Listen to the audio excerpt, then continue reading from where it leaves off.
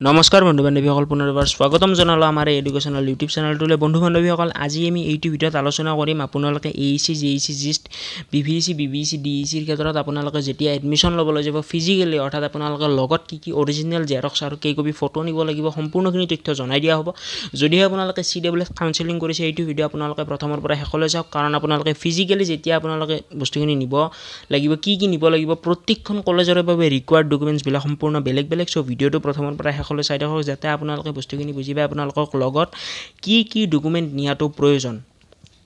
আৰু এইটো ভিডিঅ'ত আমি জেনেৰেলি মানে গোটেইকেইখন কলেজৰো যেতিয়া কাভাৰ কৰিবলৈ যাওঁ ভিডিঅ'টো বহুত দীঘলীয়া হয় আপোনালোকে চাই আমনি পায়। আমি J E C B B C তাৰপিছত জি ই চি আৰু ডি ই চি এই চাৰিখন কলেজৰে ওপৰত কথা পাতিম কাৰণ এ ই চি জে ই চিৰ ছেম থাকে B V C B B C same থাকে জিষ্টৰো প্ৰায় ছেমেই থাকে বস্তুখিনি।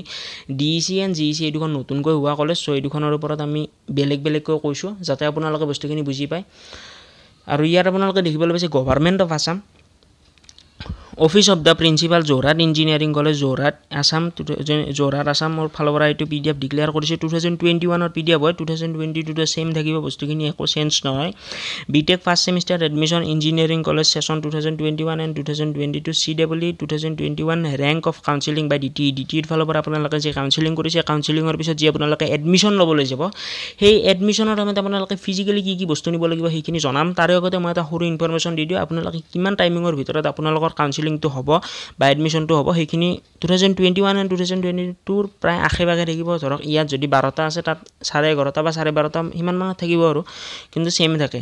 চ' মেকানিকেল ইঞ্জিনিয়াৰিঙৰ ক্ষেত্ৰত ইল mechanical civil electrical and instrumentation and computer science সকলোৰে ডেট একদিনাই হয় মানে এদিনতে আপোনালোকৰ গোটেইকেইটা ব্ৰাঞ্চৰে এডমিশ্যন হয়। টাইমিংটো জাষ্ট বেলেগ বেলেগ থাকে। মেকানিকেল ইঞ্জিনিয়াৰিঙত আপোনালোকে দহটাৰ পৰা আৰম্ভ কৰি চাৰে বাৰটাৰ ভিতৰত আপোনালোকৰ চাৰে বাৰটা নহয় চৰি তেৰটা ত্ৰিছৰ ভিতৰত আপোনালোকৰ এডমিশ্যন হৈ যাব। আৰু আপোনালোকৰ চিভিলৰ ক্ষেত্ৰত ক'বলৈ গ'লে দুটাৰ পৰা চাৰে চাৰিটা বজাৰ ভিতৰত আপোনালোকৰ এডমিশ্যন হ'ব। ইলেক্ট্ৰিকেল ইঞ্জিনিয়াৰিঙৰ ক্ষেত্ৰত আপোনালোকে দহটাৰ পৰা আৰম্ভ কৰি বাৰটা ত্ৰিছ অৰ্থাৎ চাৰে বাৰটালৈ আপোনালোকৰ এডমিশ্যনটো হ'ব। আৰু আপুনি এডমিশ্যন হ'ব সেইখিনি সময়ৰ ভিতৰত। আৰু ইনষ্ট্ৰুমেশ্যনৰ ক্ষেত্ৰত আপোনালোকে যদিহে ক'বলৈ যায় বাৰটা ত্ৰিছৰ পৰা আৰম্ভ কৰি এটা ত্ৰিছৰ ভিতৰত আপোনালোকৰ গোটেইখিনি অৰ্থাৎ এডমিশ্যন প্ৰচেছটো হৈ যাব যোনে যোনে এডমিশ্যন লয় ফাৰ্ষ্ট কাউঞ্চিলিঙৰ ক্ষেত্ৰত। আৰু কম্পিউটাৰ ছায়েন্স ইঞ্জিনিয়াৰিঙত আপোনালোকে দুটাৰ পৰা আৰম্ভ কৰি চাৰিটা ত্ৰিছলৈ যিখিনি ষ্টুডেণ্টে মানে ইলিজিবল হয় বা যিখিনি ষ্টুডেণ্টৰ নাম আহিছে বা এলপমেণ্ট পাইছে তেওঁলোকে এডমিশ্যন ল'ব পাৰিব। নেক্সট আছে আমাৰ ফিজিকেলি যোৰহাট ইঞ্জিনিয়াৰিং কলেজৰ ক্ষেত্ৰত যদিহে আপোনালোকে এডমিশ্যন লয় ফিজিকেলি আপোনালোকে কি কি ডকুমেণ্টছ নিব লাগিব সেইটো একেলগে জনাই দিওঁ। চাওক অৰিজিনেল মাৰ্কশ্বিট অৰিজিনেল মাৰ্কশ্বিট নিব লাগিব। এইখিনি বস্তু অৰিজিনেল যিখিনি অৰিজিনেল অৰিজিনেল ক'ম যিখিনি জেৰক্স নিব লাগিব সেইখিনিও জনাম। অৰিজিনেল মাৰ্কশ্বিট আপোনালোকে অৰিজিনেল মাৰ্কশ্বিট নিব লাগিব ক্লাছ টুৱেলভৰ এক্সামিনেশ্যনৰ টুৱেলভৰ আপোনালোকে অৰিজিনেল মাৰ্কশ্বিট নিব লাগিব। লগতে আপোনালোকে ফৰ এনি আৰ্জেণ্ট ৰিকুৱাৰ্ড মানে যিখিনি আপোনালোকৰ যদি কিবা আৰ্জেণ্ট ৰিকুৱাৰ্ড থাকে আৰ্জেণ্ট ৰিকুৱাৰ্ড ডকুমেণ্টছখিনি আপোনালোকে দহ দিনত টাইম দিয়ে জে ই চিৰ ক্ষেত্ৰত। আপোনালোকে যদিহে যোৰহাট ইঞ্জিনিয়াৰিং কলেজত এডমিশ্যন লয় আপোনালোকক দহ দিন টাইম দিছিল। কিবা আৰ্জেণ্ট ধৰক ডকুমেণ্ট লাইক পি আৰ চিৰ ক্ষেত্ৰতে যদি আপোনালোকে পি আৰ চিখন জমা দিব পৰা নাই ৰিচিপ্টখন দিছে আপোনালোকে দহ দিনৰ সময় দিছে দহ দিনৰ ভিতৰত আপোনালোকে মানে পি আৰ চিখন শ্ব' কৰিলে হয় নেক্সট আছে আমাৰ দ্য ফল'য়িং অৰিজিনেল ডকুমেণ্ট আৰু নেক্সট আমাৰ অৰিজিনেল ডকুমেণ্টছ কি কি নিব লাগিব সেইখিনি জনাই দিছে। পি আৰ চি অৰ্থাৎ পাৰ্মানেণ্ট ৰেচিডেণ্ট চাৰ্টিফিকেট এইখন আপোনালোকে অৰিজিনেলি দিব লাগিব। Caste certificate or category certificate caste আৰু কেটেগৰী চাৰ্টিফিকেট দুটা ছেম হয়। যদি আপোনালোকে S C S T O' B C M O' B C যিকোনো কেটেগৰীৰ পৰা বিলং কৰে আপোনালোকে কেৰেক্ট মানে কাষ্ট চাৰ্টিফিকেটখন আপোনালোকে দিবই লাগিব। কাৰণ কাষ্ট চাৰ্টিফিকেটখন ধৰক যিবিলাকে কাউঞ্চিলিঙৰ সময়ত দিছে তেওঁলোকে লাগিব। যদিহে আপোনালোকে O' B C N C এলখন দিছে তেনেহ'লে আপোনালোকে O' B C N C এলখন মানে দেখুৱাবই লাগিব ফিজিকেল ভেৰিফিকেশ্যনত আৰু আছে পাছ পাছ চাৰ্টিফিকেট আপোনালোকৰ টুৱেলভৰ যিখন চাৰ্টিফিকেট আছে চাৰ্টিফিকেটখন দিব লাগিব মাৰ্কশ্বিটখন দিব লাগিব এইচ এছ এল চিৰ আৰু এডমিটখন আপোনালোকে লাগিব লগত লৈ যাব এইখিনি থাকেই।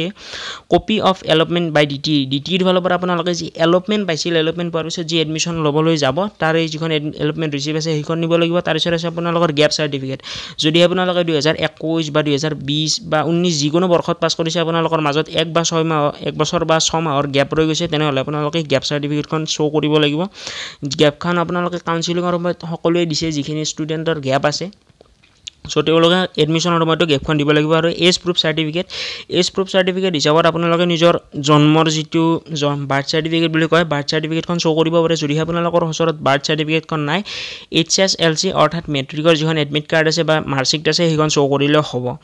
নেক্সট আছে আমাৰ selection letter of selection letter যিটো আছে আপোনালোকৰ যদি কোটা বেচিছত চিলেকশ্যন হৈছে কিবা আপোনালোকে কোটা মানে কোটাৰ থ্ৰুৰে আপোনালোকে চিলেকশ্যন পাইছে সেইখন চাৰ্টিফিকেটো আপোনালোকে শ্ব' কৰিব লাগিব। তাৰপিছত আপোনালোকে ফিলিং ডকুমেণ্ট আপোনালোকে কলেজৰ এখন ফিল আপ অৰ্থাৎ কলেজৰ এখন নিজাকৈ ফৰ্ম থাকে সেইখন আপোনালোকে ফিল আপ কৰিব লাগিব।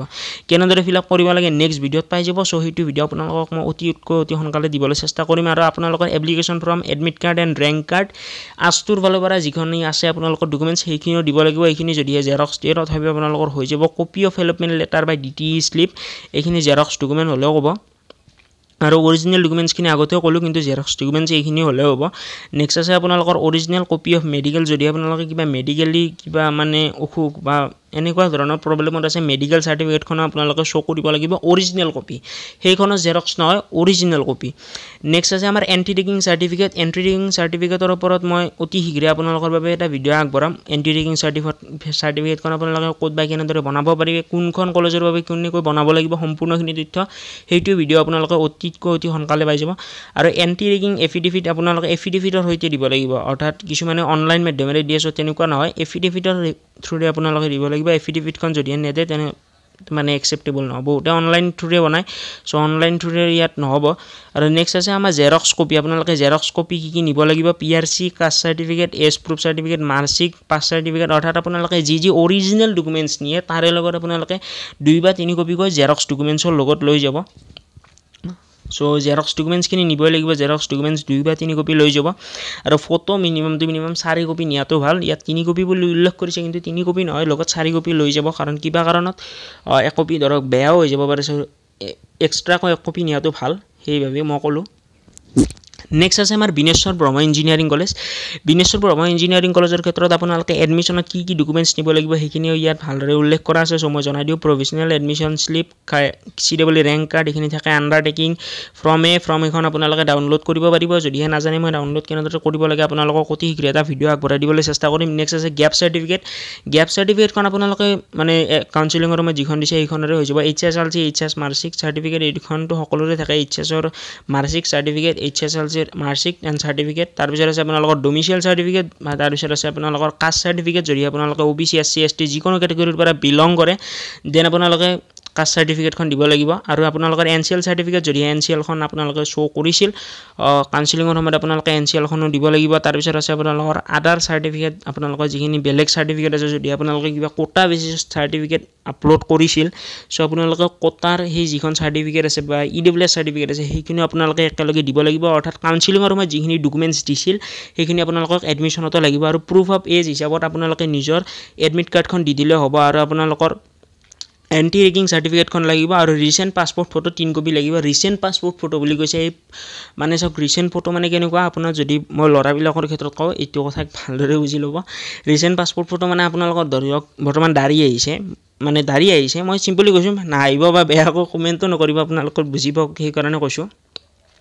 বৰ্তমান ধৰক আপোনালোকৰ দাড়ি আহিছে চ' দাড়িখিনি অহা ফটো দিব। মানে সেই কি মানে দুই তিনি বছৰ বা দুই তিনিমান তোলা আগত ফটো নিদিব। দাড়ি আহিছে বৰ্তমান এটি ফটো দিব লাগিব। চ' এনে ৰিচেণ্ট ফটো বুলি কৈছে সেইকাৰণে।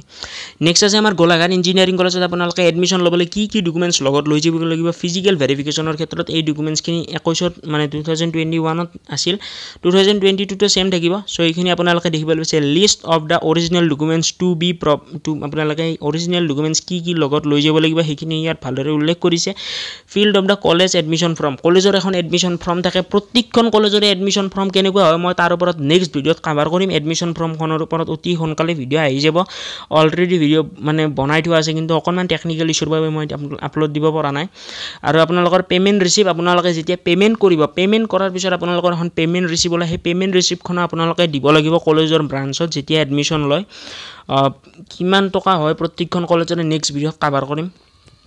চ' সেইটো ভিডিঅ' মই অতি সোনকালে যিমান পাৰোঁ সিমান সোনকালে আপোনালোকক যাতে সহায় হয় আপলোড দিবলৈ চেষ্টা কৰিম। নেক্সট আছে আমাৰ provisional admission slip admission slip যিখন আছে সেইখন দিব লাগিব চি ডাবল ৰেংক কাৰ্ড দিব লাগিব তাৰপিছত আপোনালোকৰ আণ্ডাৰটেকিং দিব লাগিব।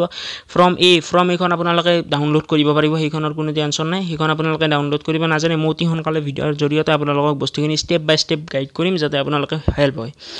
নেক্সট আছে আমাৰ গেপ চাৰ্টিফিকেট গেপ চাৰ্টিফিকেটখন আপোনালোকে যদিহে গেপ দিছে অৰ্থাৎ টু থাউজেণ্ড টুৱেণ্টি ওৱানত পাছ কৰিছে বা টু থাউজেণ্ড টুৱেণ্টি টুত টুৱেণ্টি টু নহয় টুৱেণ্টি টুত যিবিলাকে পাছ আউট কৰিছে তেওঁলোকক নালাগে।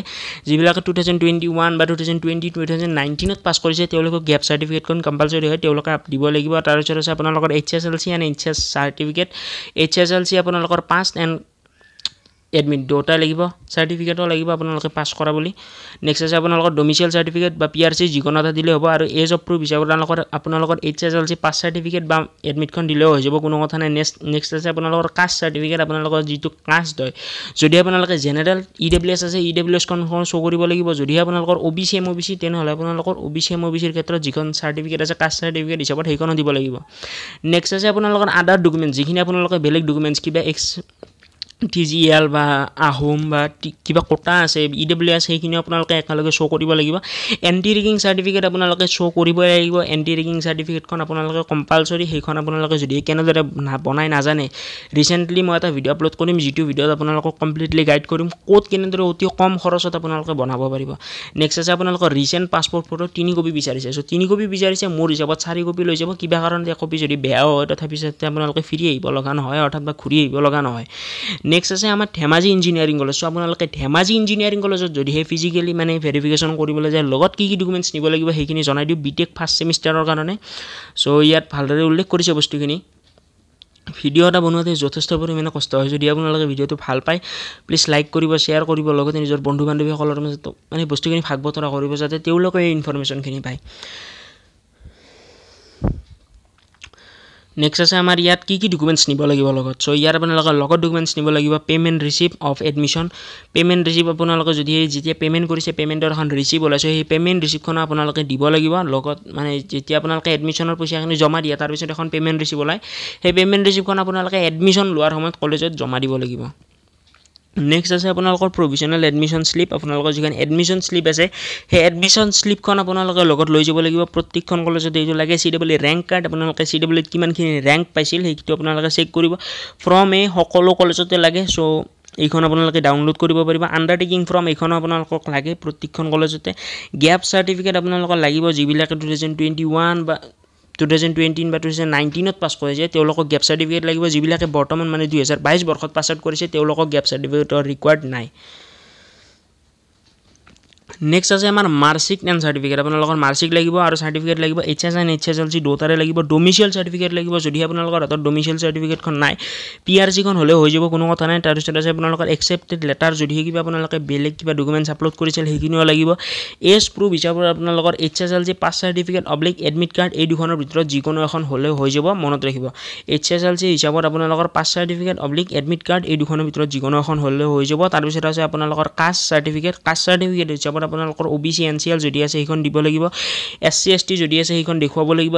তাৰপিছত যিটো মানে কাষ্ট চাৰ্টিফিকেট বুলি যিবিলাকে কাষ্টৰ পৰা বিলং কৰে তেওঁলোকক S C S T O' B C যিকোনটো কেটেগৰীৰ পৰা বিলং কৰে তেওঁ সেইখন দেখুৱাবই লাগিব সেইটো কম্পালচৰি হয়।